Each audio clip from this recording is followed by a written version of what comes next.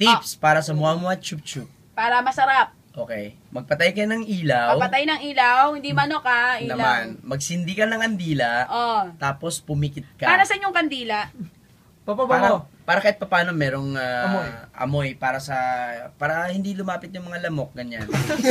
Hindi na, Katol daw, hindi na lang katol. Di ba? Oh, tuloy. Okay, ito na, ito na, papi. Go, papi. Okay, ready? Okay. May kandila na, di ba? Oh. Kailangan, kailangan patayin mo at sabay-sabi. Chup chup. Ah!